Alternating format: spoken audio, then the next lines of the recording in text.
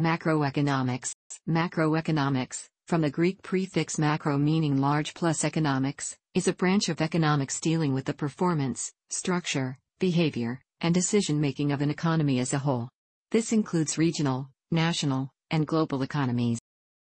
Macroeconomists study aggregated indicators such as GDP, unemployment rates, national income, price indices, and the interrelations among the different sectors of economy to better understand how the whole economy functions. They also develop models that explain the relationship between such factors as national income, output, consumption, unemployment, inflation, savings, investment, international trade, and international finance. While macroeconomics is a broad field of study, there are two areas of research that are emblematic of the discipline the attempt to understand the causes and consequences of short run fluctuations in national income, the business cycle, and the attempt to understand the determinants of long run economic growth, increases in national income. Macroeconomic models and their forecasts are used by governments to assist in the development and evaluation of economic policy.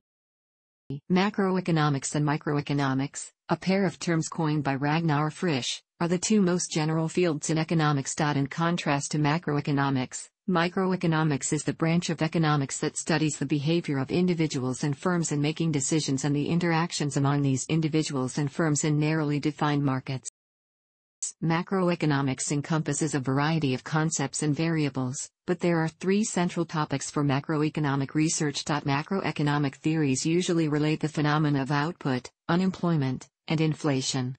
Outside of macroeconomic theory, these topics are also important to all economic agents including workers, consumers, and producers. National output is the total amount of everything a country produces in a given period of time. Everything that is produced and sold generates an equal amount of income. The total output of the economy is measured GDP per person. The output and income are usually considered equivalent and the two terms are often used interchangeably. Output changes into income. Output can be measured or it can be viewed from the production side and measured as the total value of final goods and services or the sum of all value added in the economy. Macroeconomic output is usually measured by gross domestic product, GDP, or one of the other national accounts. Economists interested in long run increases in output study economic growth. Advances in technology, accumulation of machinery and other capital, and better education and human capital are all factors that lead to increased economic output over time. However, output does not always increase consistently over time. Business cycles can cause short-term drops in output called recessions. Economists look for macroeconomic policies that prevent economies from slipping into recessions and that lead to faster long-term growth. The amount of unemployment in an economy is measured by the unemployment rate, i.e. the percentage of workers without jobs in the labor force. The unemployment rate in the labor force only includes workers actively looking for jobs. People who are retired, pursuing education, or discouraged from seeking work via lack of job prospects are excluded. Unemployment can be generally broken down into several types that are related to different causes. A general price increase across the entire economy is called inflation. When prices decrease, there is deflation. Economists measure these changes in prices with price indexes. Inflation can occur when an economy becomes overheated and grows too quickly. Similarly, a declining economy can lead to deflation. Central bankers, who manage a country's money supply, try to avoid changes in price level by using monetary policy. Raising interest rates or reducing the supply of money in an economy will reduce inflation. Inflation can lead to increased uncertainty and other negative consequences. Deflation can lower economic output. Central bankers try to stabilize prices to protect economies from the negative consequences of price changes. Changes in price level may be the result of several factors. The quantity theory of money holds that changes in price level are directly related to changes in the money supply. Most economists believe that this relationship explains long run changes in the price level.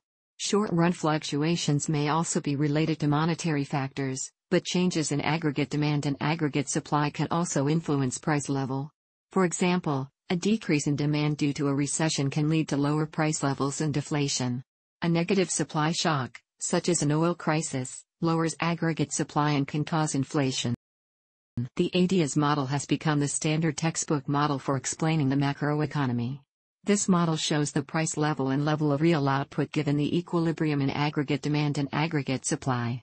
The aggregate demand curve's downward slope means that more output is demanded at lower price levels. The downward slope is the result of three effects the Pigou or real balance effect, which states that as real prices fall, real wealth increases, resulting in higher consumer demand of goods, the Keynes or interest rate effect, which states that as prices fall, the demand for money decreases, causing interest rates to decline and borrowing for investment and consumption to increase, and the net export effect, which states that as prices rise, domestic goods become comparatively more expensive to foreign consumers, leading to a decline in exports. In the conventional Keynesian use of the AS-AD model, the aggregate supply curve is horizontal at low levels of output and becomes inelastic near the point of potential output, which corresponds with full employment. Since the economy cannot produce beyond the potential output, any AD expansion will lead to higher price levels instead of higher output. The ADAS diagram can model a variety of macroeconomic phenomena, including inflation. Changes in the non-price level factors or determinants cause changes in aggregate demand and shifts of the entire aggregate demand AD, curve.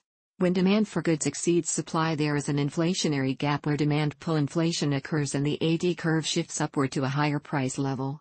When the economy faces higher costs, cost push inflation occurs and the S curve shifts upward to higher price levels. The AS-AD diagram is also widely used as a pedagogical tool to model the effects of various macroeconomic policies. The IS-LM model represents all the combinations of interest rates and output that ensure the equilibrium in the goods and money markets. The goods market is represented by the equilibrium in investment and saving, is, and the money market is represented by the equilibrium between the money supply and liquidity preference. The IS curve consists of the points where investment, given the interest rate, is equal to savings, given output. The S curve is downward sloping because output and interest rate have an inverse relationship in the goods market. As output increases, more money is saved, which means interest rates must be lower to spur enough investment to match savings. The LM curve is upward sloping because interest rate and output have a positive relationship in the money market. As output increases, the demand for money increases, resulting in a rise in interest rate. The IS-LM model is often used to demonstrate the effects of monetary and fiscal policy. Textbooks frequently use the IS-LM model, but it does not feature the complexities of most modern macroeconomic models. Nevertheless, these models still feature similar relationships to those in S/LM.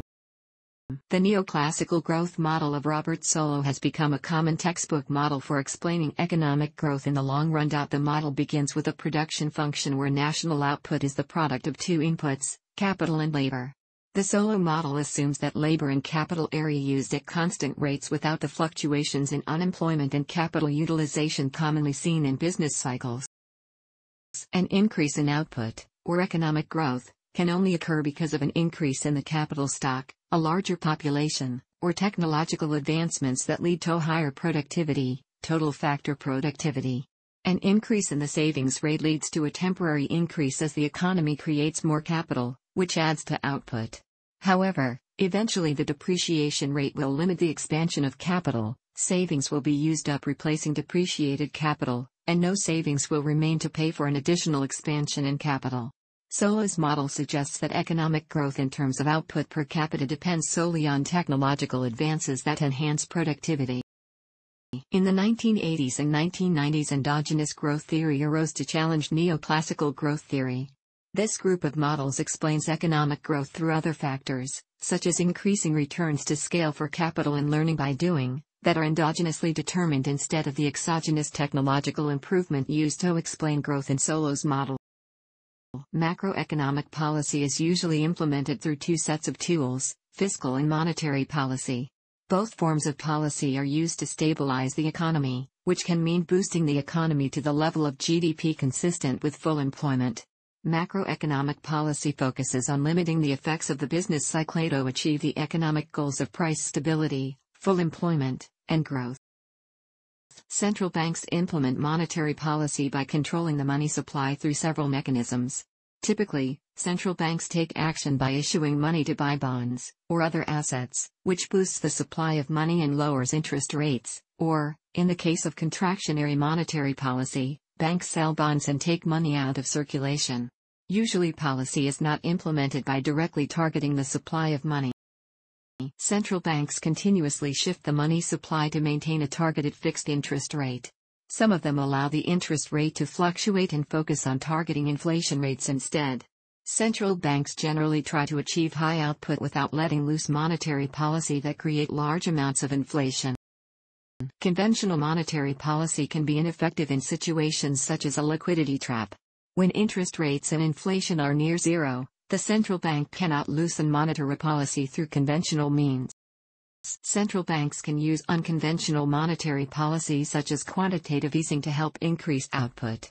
Instead of buying government bonds, central banks can implement quantitative easing by buying not only government bonds, but also other assets such as corporate bonds, stocks, and other securities. This allows lower interest rates for a broader class of assets beyond government bonds.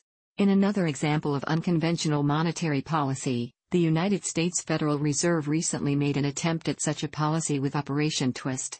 Unable to lower current interest rates, the Federal Reserve lowered long-term interest rates by buying long-term bonds and selling short-term bonds to create a flat yield curve. Fiscal policy is the use of government's revenue and expenditure as instruments to influence the economy. Examples of such tools are expenditure, taxes, debt. For example, if the economy is producing less than potential output, government spending can be used to employ idle resources and boost output. Government spending does not have to make up for the entire output gap. There is a multiplier effect that boosts the impact of government spending. For instance, when the government pays for a bridge, the project not only adds the value of the bridge to output, but also allows the bridge workers to increase their consumption and investment, which helps to close the output gap. The effects of fiscal policy can be limited by crowding out. When the government takes on spending projects, it limits the amount of resources available for the private sector to use. Crowding out occurs when government spending simply replaces private sector output instead of adding additional output to the economy. Crowding out also occurs when government spending raises interest rates, which limits investment. Defenders of fiscal stimulus argue that crowding out is not a concern when the economy is depressed, plenty of resources are left idle, and interest rates are low. Fiscal policy can be implemented through automatic stabilizers. Automatic stabilizers do not suffer from the policy lags of discretionary fiscal policy. Automatic stabilizers use conventional fiscal mechanisms that take effect as soon as the economy takes a downturn. Spending on unemployment benefits automatically increases when unemployment rises and, in a progressive income tax system, the effective tax rate automatically falls when incomes decline. Economists usually favor monetary over fiscal policy because it has two major advantages. First, monetary policy is generally implemented by independent central banks instead of the political institutions that control fiscal policy.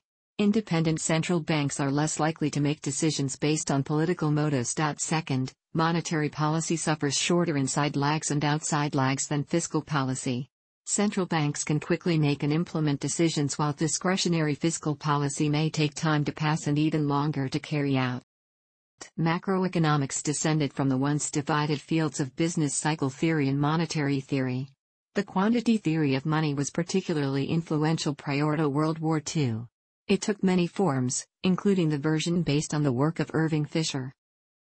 In the typical view of the quantity theory, money velocity, v, and the quantity of goods produced, q, would be constant, so any increase in money supply, m, would lead to a direct increase in price level, p. The quantity theory of money was a central part of the classical theory of the economy that prevailed in the early 20th century. Ludwig von Mises's work Theory of Money and Credit, published in 1912, was one of the first books from the Austrian school to deal with macroeconomic topics. Macroeconomics, at least in its modern form, began with the publication of John Maynard Keynes's General Theory of Employment, Interest and Money. When the Great Depression struck, classical economists had difficulty explaining how goods could go unsold and workers could be left unemployed. In classical theory, prices and wages would drop until the market cleared, and all goods and labor were sold. Keynes offered a new theory of economics that explained why markets might not clear, which would evolve, later in the 20th century, into a group of macroeconomic schools of thought known as Keynesian economics, also called Keynesianism or Keynesian theory. In Keynes's theory, The quantity theory broke down because people and businesses tend to hold on to their cash in tough economic times, a phenomenon he described in terms of liquidity preferences. Keynes also explained how the multiplier effect would magnify a small decrease in consumption or investment and cause declines throughout the economy. Keynes also noted the role uncertainty and animal spirits can play in the economy. The generation following Keynes combined the macroeconomics of the general theory with neoclassical microeconomics to create the neoclassical synthesis. By the 1950s, most economists had accepted the synthesis view of the macroeconomy. Economists like Paul Samuelson, Franco Modigliani, James Tobin, and Robert Solow developed formal Keynesian models and contributed formal theories of consumption, investment, and money demand that fleshed out the Keynesian framework. Milton Friedman updated the quantity theory of money to include a role for money demand. He argued that the role of money in the economy was sufficient to explain the Great Depression, and that aggregate demand oriented explanations were not necessary. Friedman also argued that monetary policy was more effective than fiscal policy, however, Friedman doubted the government's ability to fine tune the economy with monetary policy. He generally favored a policy of steady growth in money supply instead of frequent intervention. Friedman also challenged the Phillips curve relationship between inflation and unemployment. Friedman and Edmund Phelps, who was not a monetarist, proposed an augmented version of the Phillips curve that excluded the possibility of a stable, long-run trade-off between inflation and unemployment. When the oil shocks of the 1970s created a high unemployment and high inflation, Friedman and Phelps were vindicated. Monetarism was particularly influential in the early 1980s. Monetarism fell out of favor when central banks found it difficult to target money supply instead of interest rates as monetarists recommended. Monetarism also became politically unpopular when the central banks created recessions in order to slow inflation. New classical macroeconomics further challenged the Keynesian school. A central development in new classical thought came when Robert Lucas introduced rational expectations to macroeconomics. Prior to Lucas, economists had generally used adaptive expectations where agents were assumed to look at the recent past to make expectations about the future. Under rational expectations, agents are assumed to be more sophisticated. A consumer will not simply assume a 2% inflation rate just because that has been the average the past few years. She will look at current monetary policy and economic conditions to make an informed forecast. When new classical economists introduced rational expectations into their models, they showed that monetary policy could only have a limited impact. Lucas also made an influential critique of Keynesian empirical models. He argued that forecasting models based on empirical relationships would keep producing Thesamy predictions even as the underlying model generating the data changed. He advocated models based on fundamental economic theory that would, in principle, be structurally accurate as economies changed. Following Lucas's critique, new classical economists, led by Edward C. Prescott and Finn Kydland, created real business cycle, RBC, models of the macroeconomy. RBC models were created by combining fundamental equations from neoclassical microeconomics. In order to generate macroeconomic fluctuations, RBC models explained recessions and unemployment with changes in technology instead of changes in the markets for goods or money. Critics of RBC models argue that money clearly plays an important role in the economy, and the idea that technological regress can explain recent recessions is implausible. However, Technological shocks are only the more prominent of a myriad of possible shocks to the system that can be modeled. Despite questions about the theory behind RBC models, they have clearly been influential in economic methodology. New Keynesian economists responded to the new classical school by adopting rational expectations and focusing on developing micro-founded models that are immunato the Lucas critique. Stanley Fischer and John B. Taylor produced early work in this area by showing that monetary policy could be effective even in models with rational expectations when contracts locked in wages for workers. Other new Keynesian economists, including Olivier Blanchard, Julio Rotemberg, Greg Mankiw, David Romer, and Michael Woodford, expanded on this work and demonstrated other cases where inflexible prices and wages led to monetary and fiscal policy having real effects. Like classical models, new classical models had assumed that prices would be able to adjust perfectly and monetary policy would only lead to price changes. New Keynesian models investigated sources of sticky prices and wages due to imperfect competition, which would not adjust, allowing monetary policy to impact quantity S instead of prices. By the late 1990s economists had reached a rough consensus.